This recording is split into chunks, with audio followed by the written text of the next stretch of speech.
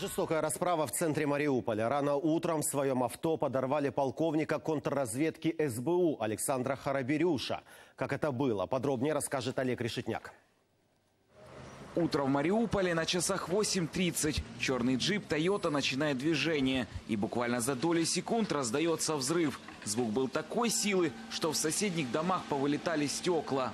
Я ж была там стояла.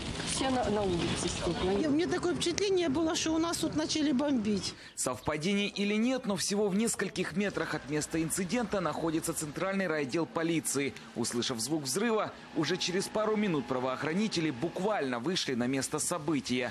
А спустя еще некоторое время прибыли почти все силовые подразделения и спасатели. На місце події відразу прибули співробітники МНС, патрульної поліції та національної поліції в Донецькій області, а також співробітники СБУ. З метою забезпечення безпеки було оціплено місце. Позже выяснилось, за рулем взорванного внедорожника был замначальника отдела контрразведки Донецкого управления СБУ полковник Александр Хараберюш. Співробітник СБУ, фактично керівник е, Контртерористичної е, підрозділу е, Донецького управління СБУ, е, Донецького управління СБУ, загинув у власному автомобілі. Відбувся вибух, він втратив е, обидві ноги і від кровотечі е, помер у швидкій допомозі.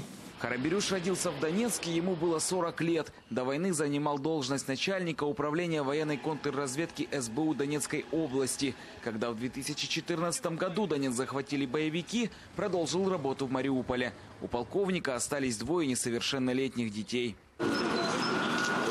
В Мариуполе усилили патрули. По тревоге подняли весь личный состав полиции. На блокпостах тщательные проверки. Для того, щоб е, оперативно перекрити територію міста, можливі шляхи відходу зловмис... е, зловмисників.